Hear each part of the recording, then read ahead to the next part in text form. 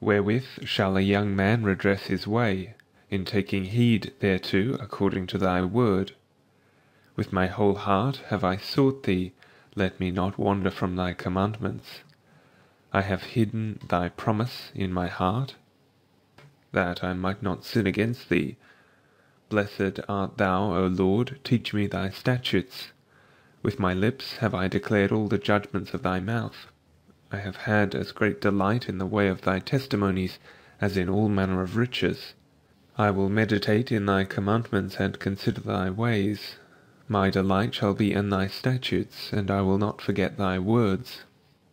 Upon Sunday last past I declared unto you in sum the argument of this psalm, the use thereof, and the instruction that we may gather by it, to wit, that a faithful man is here taught to stir up himself to the reading of God's word, and thereby to confirm himself accordingly. David himself hath done this, who of all others was the most excellent. How much more then ought we to do the like? Even we, I say, which are so rude and ignorant, and far from so much profiting in the school of God as he. But because we are so cold, and have need to be spurred forward like asses, behold why David here showeth us what profit and commodity we may receive by this continual study, if every of us will apply ourselves to see and hear that which God hath manifested unto us in his law and in the holy scriptures. As he here saith, Wherewith shall a young man redress his way, in taking heed thereto, or standing upon his guard, according to thy word. He showeth us here that if we be desirous to order our life as it becometh us, to have it rightly governed, and to be pure and simple, we must hold that way which God hath set before us. For we must not trust unto our own wits, neither frame and fashion unto ourselves such a way as shall to us seem best, but to suffer God to rule and conduct us, and to obey him simply and plainly.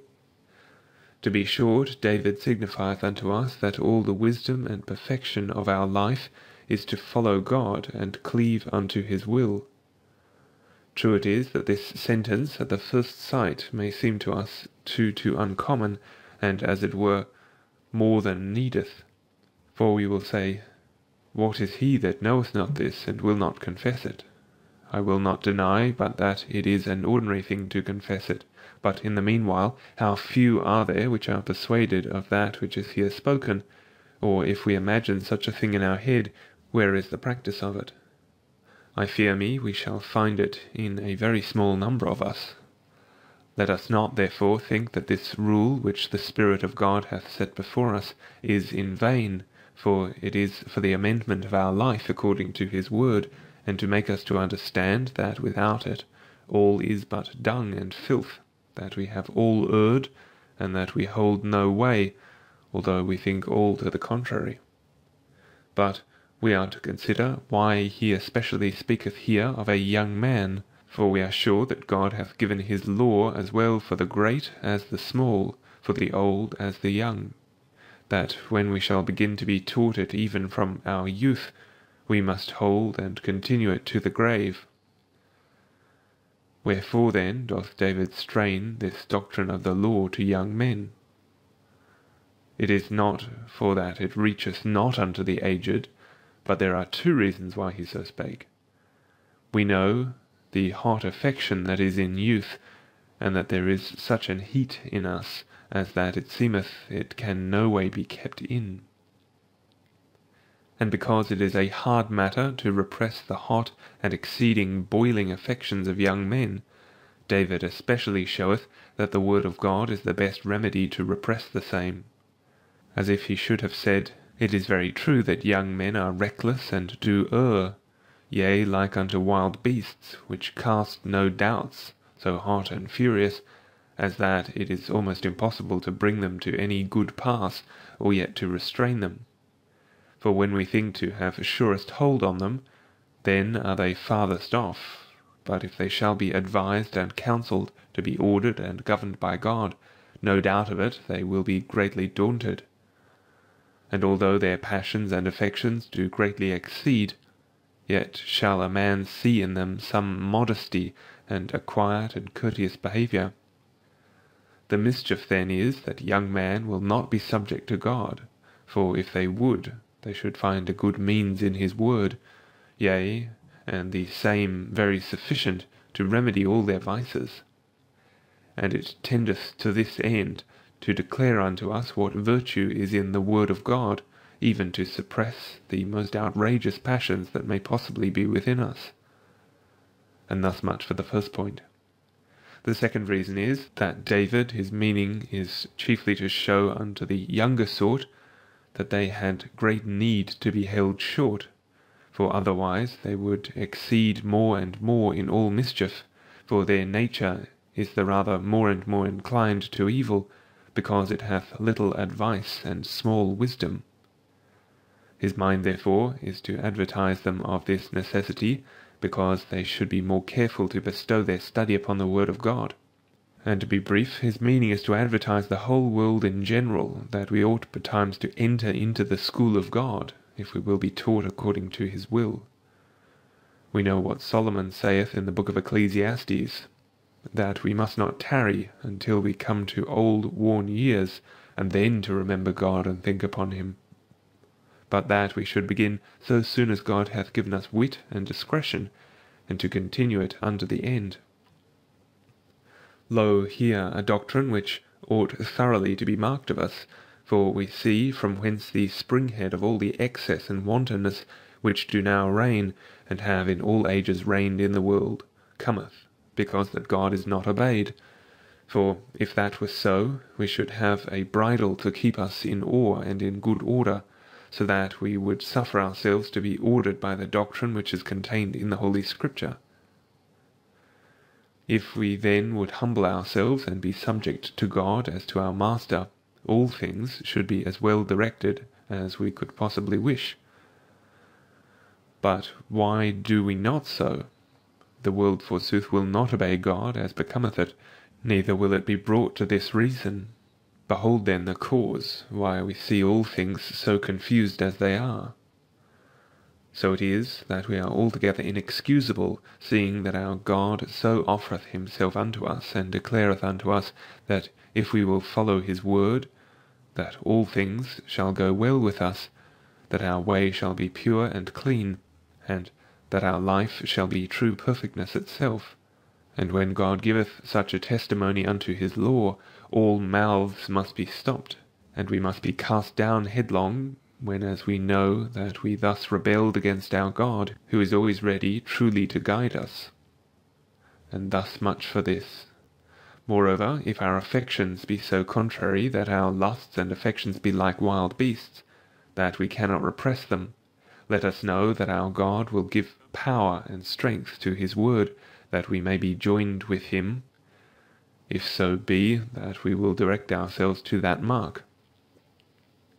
And to prove it to be so, he here speaketh especially of the corruptions of youth, which, as I have already declared, are more excessive and disordered than they are in the aged. But so it is that both great and small might very well be brought to this pass, to suppress their inordinate affections and lusts, if so be they would give that honour to God which unto him appertaineth, that is, if they would follow his word. Furthermore, we are here to note the exhortation which we have already touched, to wit, that it is David his meaning to manifest unto us that we ought betimes to be God's scholars, and to suffer him to rule us and to continue and hold us in this study all the days of our life. Let us not then tarry until we come to the grave's brink to become wise in this behalf, as we see these scorners which make themselves merry and outrage in mocking of God, saying, Well, sir, we shall have leisure to repent time enough, for if we may have but one hearty sigh, care away.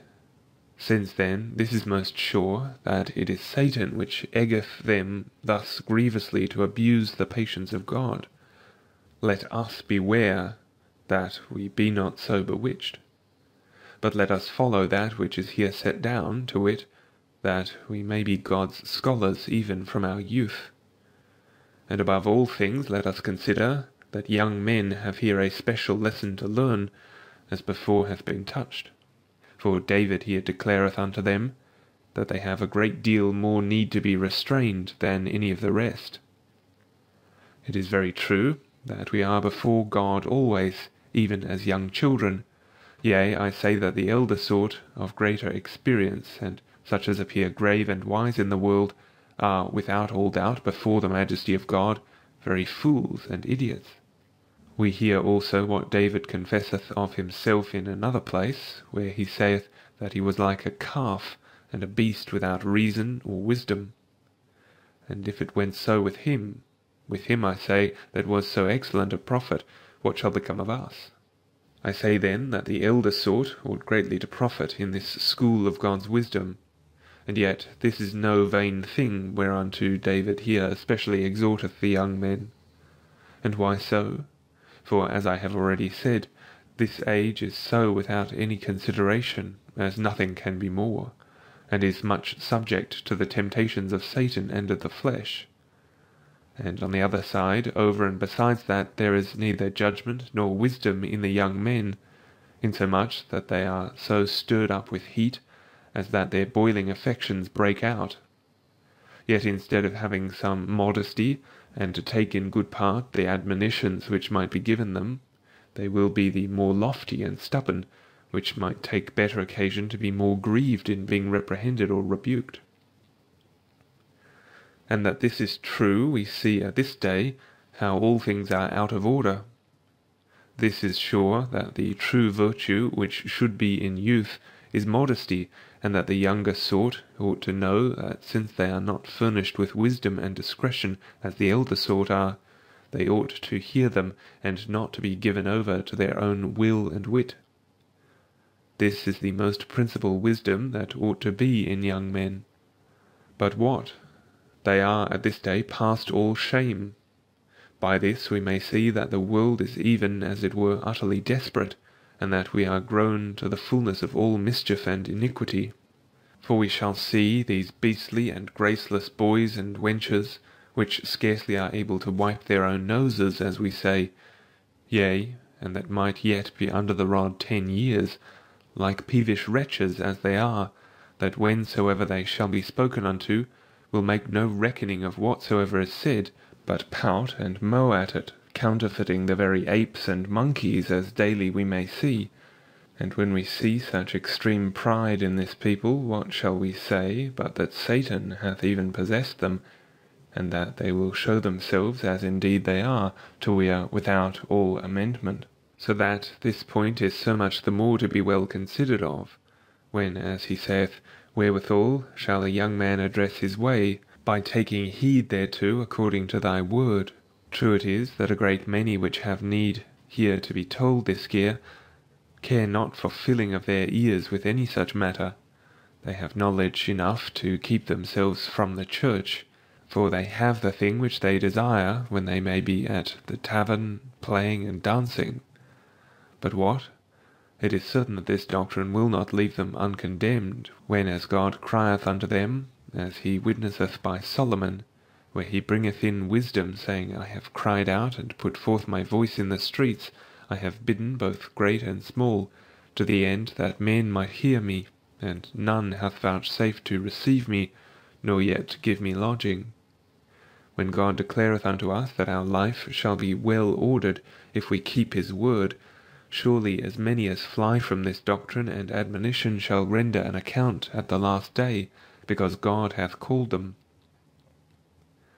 And also because they have not only been deaf, but also have added this mischief to fly from the admonitions which God's word admonished them of, to bring them again into the way of salvation, from which they were strayed. It is especially said, Yea, by taking heed thereto according to thy word. David his meaning is here to express unto us that we may make ourselves believe that we have wisdom and discretion enough, but yet it shall profit us no whit at all, without we will be governed and ruled by God according to that which hath been before said.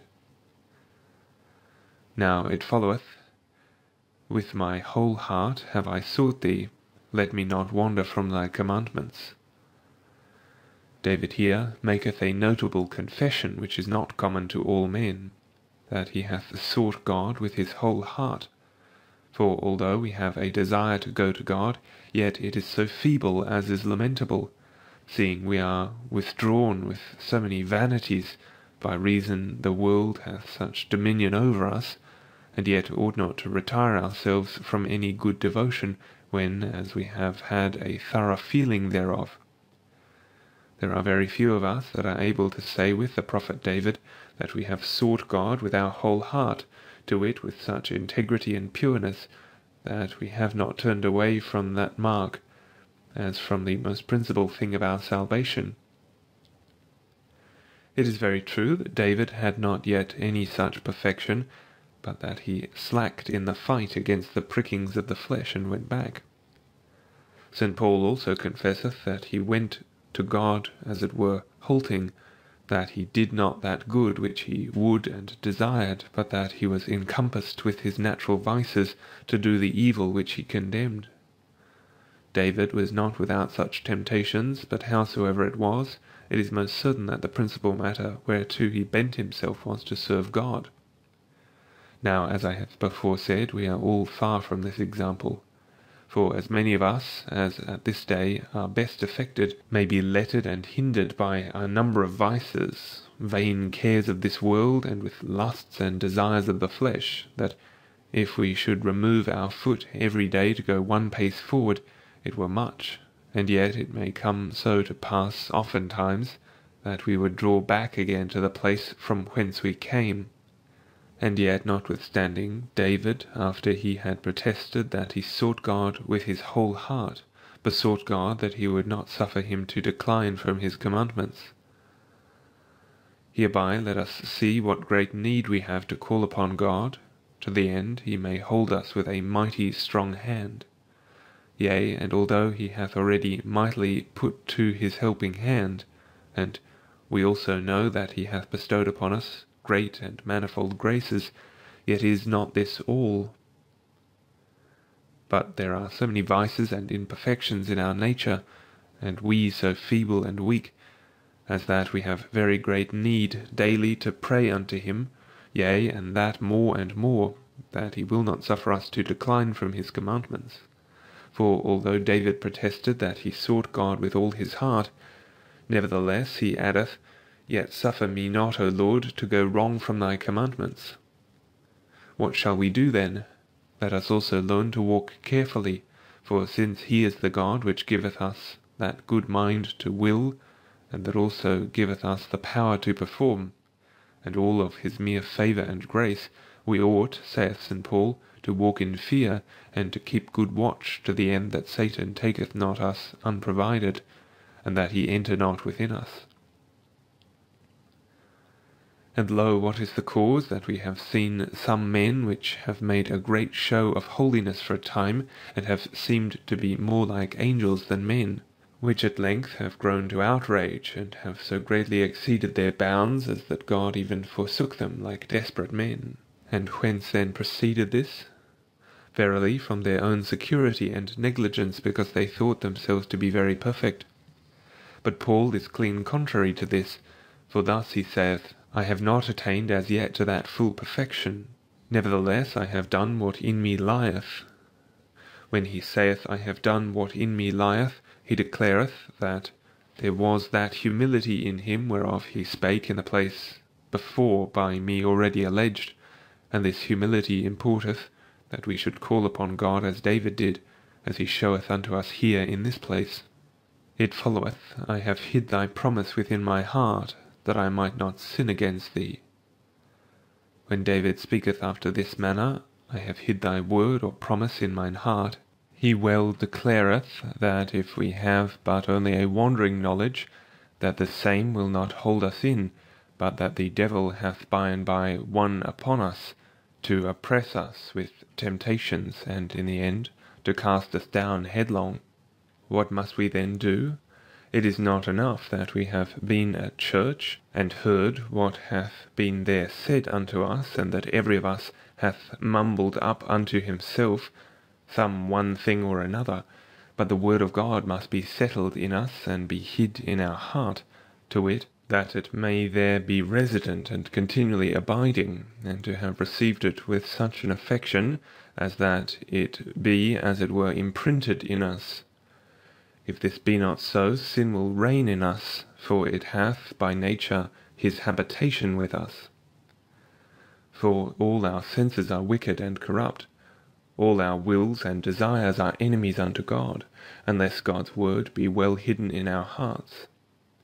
Moreover, we are to understand that David here vaunted not himself of his own power and strength, as though he were in admiration thereof, but the Spirit of God, speaking by his mouth, intendeth to give us a glass, wherein we may be confirmed, to wit, that